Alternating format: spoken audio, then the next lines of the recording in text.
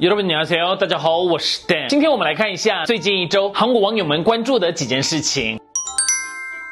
球毒笋被凶器袭击。昨天在韩国发生了二十多岁的男性用凶器攻击球毒笋的事件，引起了网友们的关注。根据警方发表，二十多岁的男性 A 某在十六号晚上八点四十七分去了球毒笋的住处，敲玄关门后称自己是警察，要求开门。在球毒笋开门后，双方就起了口角。A 某拿出了凶器，直接打在球毒笋的头上了。而看到这个情况的球毒笋妻子马上就报了警，警方在现场逮捕了这位男性，而球毒笋被移送到医院接受了治疗，伤势并没有很严重。据了解，这位。二十多岁的男性在二零二一年二月九号也说要惩罚裘都孙，拿着凶器想要进裘都孙的家内，而被警察制止过。当时这位男性对警方说过，自己的人生过得没有什么意义，如果杀了裘都孙，我的人生应该会有点意义吧。我们来看一下韩国网友们的反应，应该要给他勇敢的市民讲为什么要逮捕。虽然知道有法律存在，所以不可以那样，但是还是觉得很可惜，没能让他多受伤一点。这个年轻人是饮酒神经衰弱，没有杀人企图，也不是企划犯罪，是突发事故，所以无罪。我也觉得年轻人没有错，裘都孙应该要被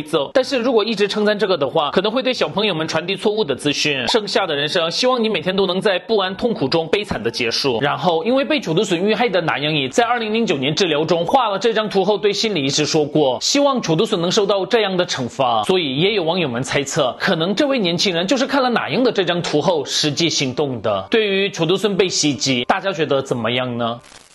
透过新闻才知道推尼文解散的喜爱。推尼文在二零一六年突然解散的事情，对 K-pop 粉丝们来说是一件非常遗憾的事情。而在这几天，推尼文队长希尔接受美国媒体访问的时候，希尔被问到，成员敏基曾经说过自己是看到报道才知道解散的，那你呢？希尔回复，说实话，我也是那样。感恩节的时候收到了很多手机短信，但是现在我对我的人生拥有更多的自由跟选择权，所以对我来说，现在是更加激动的环节。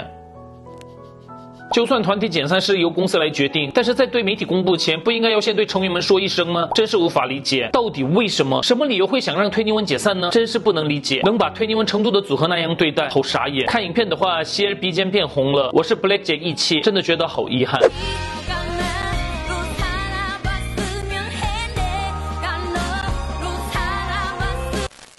妈妈差别对待 Tomorrow by Together。二零二一妈妈颁奖典礼差别对待男团 Tomorrow by Together 的事情引起了网友们的争议。我们快速看一下到底发生了什么事情。第一，妈妈颁奖典礼当天直播舞台中，因为播放的音乐延迟了半拍子，与成员们在耳边听到的音乐不一样，导致成员们的舞蹈动作跟音乐拍子完全不配合。在舞台结束后，舞蹈家与舞者们马上就发文表示非常遗憾，而所属公司也是在第一时间就上传了该舞蹈的练习影片，好像是为了解释原本的舞台不应该是。是这样。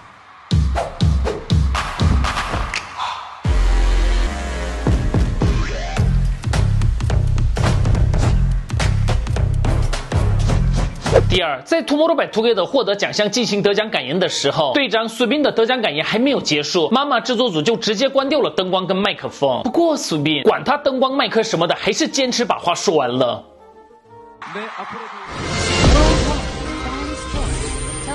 第三，Tomorrow by Together 演员与其他爱豆们一起表演了开场舞台，但是在 Mnet 上传到 YouTube 的影片缩图中，只漏掉了演员一个人。后来虽然有重新上传缩图，但是因为这张缩图看起来只有演员的灯光不是很好，所以令粉丝们更加生气。Tomorrow by Together 好可怜，但是苏斌好帅。只是一个失误的话就不说什么了，但是很多次的话就是故意的了。大家不要误会，Mnet 不高兴的话就直接不让你出演的，他们只是很无能而已。不要什么阴谋论，妈妈本来就这么糟糕，傻子们又做了傻事而已。